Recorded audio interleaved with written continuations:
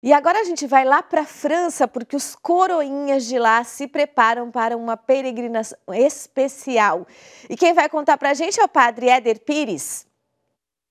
Mais de 2.500 jovens e adolescentes franceses participam da peregrinação anual dos coroinhas, ou servidores do altar, como são chamados aqui na França.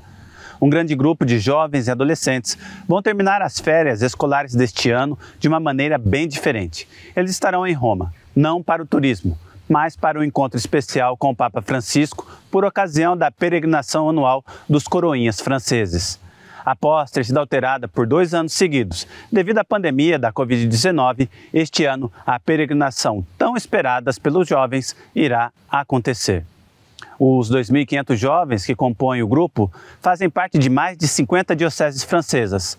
Além dos coroinhas, a peregrinação conta também com a presença de inúmeros responsáveis destes grupos, como bispos, padres, adultos, pais e avós.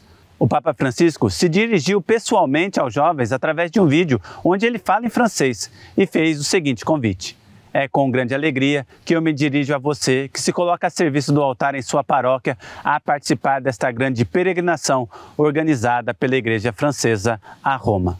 Os coroinhas serão recebidos pelo Santo Padre na sexta-feira, dia 26, na Sala Paulo VI. Padre Éder Pires de Toulon, na França, para o Canção Nova Notícias, edição da manhã. Obrigada, Padre Éder.